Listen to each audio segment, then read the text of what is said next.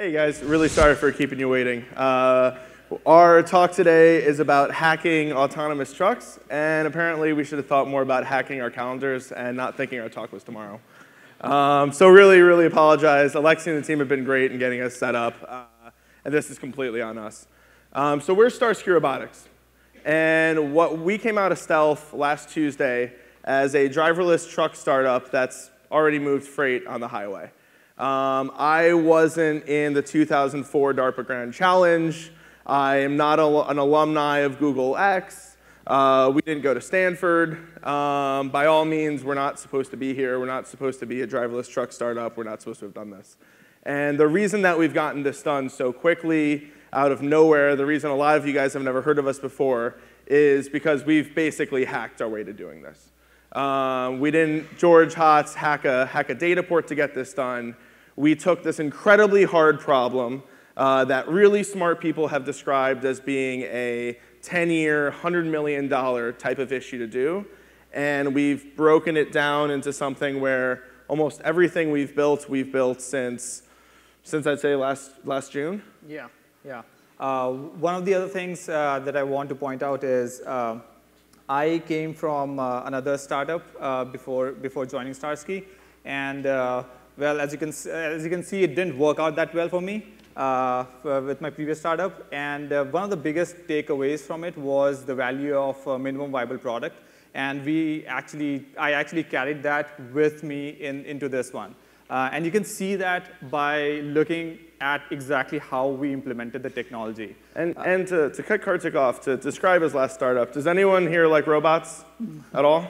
All right, cool, good crowd. So Kartik's last startup, Updroid, we're building really, really cool consumer robots.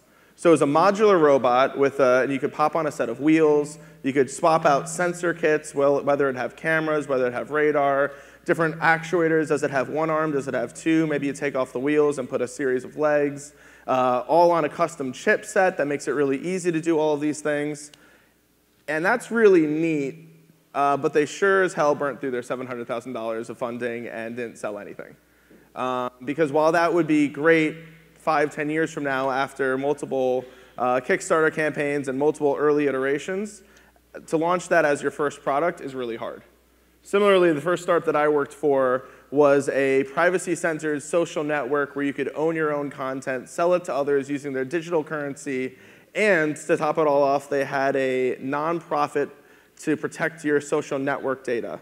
Uh, maximum day, they had 50 active users and 80 employees. Um, MVP is pretty key to how we've thought about this, and we think that trucking is the minimal, minimal viable product for the autonomous industry. Yeah, and also not just trucking, but the way we are approaching trucking is uh, is more or less the way we think is, uh, which is, I mean, it is the MVP of uh, self-driving technology as such. Uh, what, uh, just to go into a little more detail about how, uh, how we did this, we looked at trucking industry, and Stefan can talk, about, talk more about the business aspect of it, but as the problem came to me, all we had to do was build a lane keeping uh, build a lane keeping uh, vehicle that can also do adaptive cruise control. Uh, and we, we, would, we, we, would already be in business. So, yeah. So what's, what's hard about self-driving? Um, being a self-driving car in San Francisco, being Cruise, being Uber for two days in December um, is really difficult. There's a homeless person staggering into the street here. There's a couple of hipsters uh, uh, walking across, jaywalking over there. It's a really complicated, weird problem. Um, trucking is a different space. So we didn't come out, we didn't make a good algorithm and decide what's a good use case, maybe trucking we thought about trucking first. So many of you guys probably don't know this. There's a severe truck driver shortage in America. The reason for that is it's really, really hard to get human beings to spend a month at a time in a truck. If you're willing to do that, if you're willing to live in a truck, get home one day a month, uh, without a high school diploma, you make $60,000 to $90,000 a year. there's a shortage of 50,000 drivers. So the problem in trucking is not how great of a math problem can we solve. The problem is, can we make a truck move? Um, to make a truck move, it doesn't need to be autonomous 100% of the time. To make a truck move, it needs to move. Um, if you are building something that addresses this space without actually removing the person from the truck, you're not solving the problem. You don't have a product. You're doing nothing. Which is why we're doing what we're doing, remote control from a distribution center to a highway, autonomous on the highway, and then remote control to another distribution center. Long haul driving is distribution center to distribution center. At each end, it's no more than five miles away from the highway. We effectively have made a driverless truck without ever needing to deal with how do we stop if a kid chases a bouncy red ball into the middle of the street. And by definition, warehouse districts uh, in general are not uh, not similar to uh, neighborhoods in San Francisco. So you already eliminate a lot of ed edge cases. And because you already are building the whole technology on top of uh, teleoperation as, as its basic, uh, as its basic com component, you already have uh, a sense of supervision that uh, any, any, any person in our command station can provide. Uh, so that's, that's the essence of the whole technology platform. Uh, the other thing is, which sort of goes in, in into a political, po political scenario, which is we also have human in the loop. Uh, so we do think that uh, all, like all the technology advances that, uh, that can happen in the next two to three years uh, might make a fully autonomous level five uh, vehicle possible. But we as a startup cannot wait for, for, for that to happen. We don't have 100 million years. We don't we, have 10, we don't, we, we don't have 100 million dollars. We don't have 10 years. We need to build something real. We need to build something now or we need to get jobs and we need a lot of data to build that level 5 car, uh, level, level, level 5 vehicle.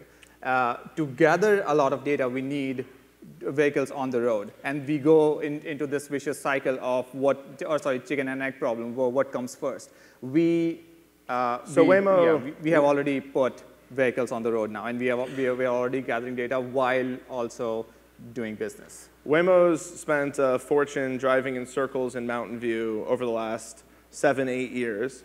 Um, and we also need to drive in circles. Um, since we're a self-driving truck, we should be driving in circles with some level of weight in the back of the vehicle to, to actually simulate what it's like at different weights. An, an unloaded tractor trailer is about 20,000 pounds. A fully loaded tractor tra trailer is about 80,000 pounds. So there's, there's a lot of dynamics to learn there. Um, if we're going to be driving in circles with weight, we might as well get paid for it which all of a sudden allows us to have the same testing footprint as, as an auto, as a much larger company. Mid next month, we should have six to eight testing vehicles continuously gathering data for us, which gives us one of the largest fleets in self-driving, despite most of you guys never having heard of us before last week. Uh, the other interesting thing about our approach is uh, uh, we are not using any technology uh, or any product that has not existed or, uh, or the shelf that has not existed for uh, in the market for the for the last five years. Uh, so which is we, a nice way of saying we're not using lidar. um, I've gotten cornered at parties about how how dare Tesla, how dare Comma.ai not use lidar? Everyone else uses it. Uh, it's pretty telling that the one company really in market isn't using lidar. Um, it's a really cool sensor. It's spinning lasers. That's awesome. I would love some spinning lasers. Um, the reality of it is that there are very few LiDARs that have been built that functionally operate at highway speed. Um, I've heard numbers that there's 500 to 600 of them. They're hard to get a hold of.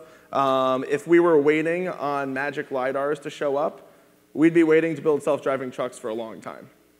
And 4,000 people die each year in truck accidents. There's a moral imperative to bring safe technology to market, and I'm not going to wait for the LiDAR companies to get their act together. Uh, yeah, I think that's, uh, that's uh, our unprepared talk for, for today.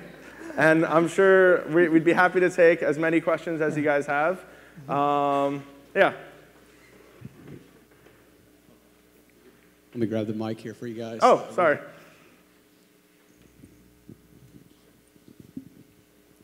Uh, so you mentioned that you guys are going to have remote control uh, from the warehouse to the highway merge zone.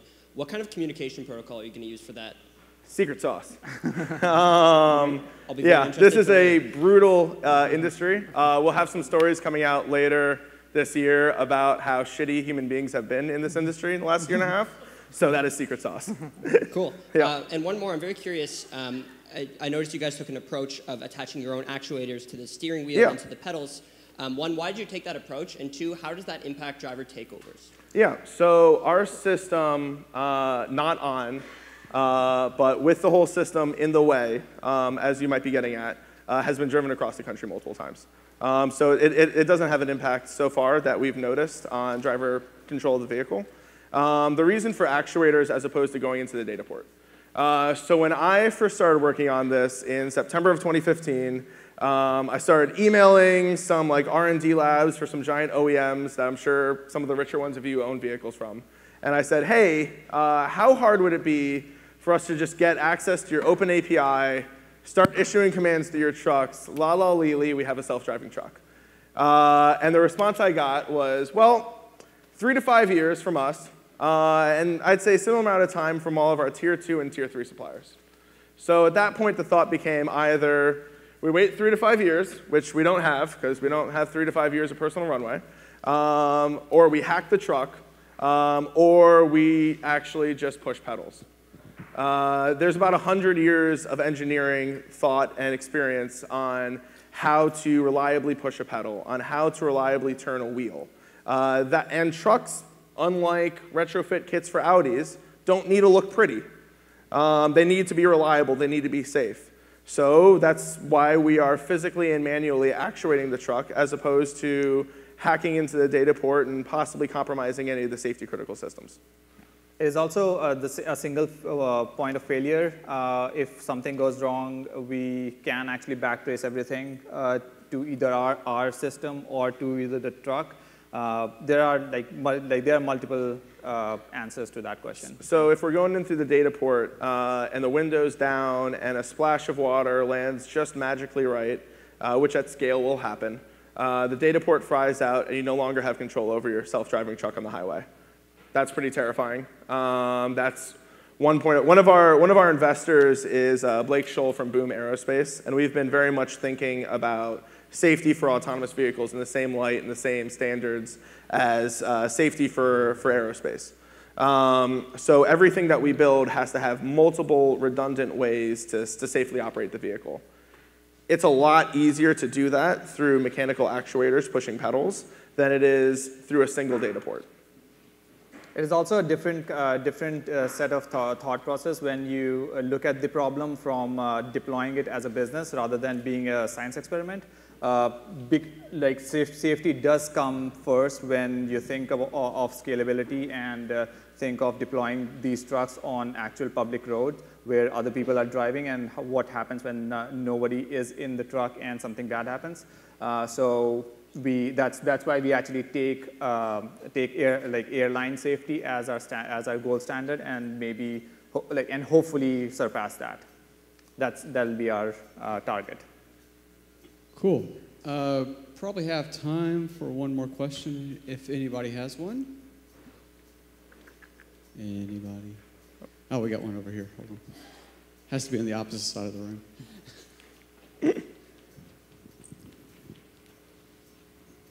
So with the remote control um, aspect, um, what actually happens if uh, you lose communication with one of the vehicles, whether it's um, someone yeah. hacking it or whether, I don't know, cell towers go down or what other technology you're using?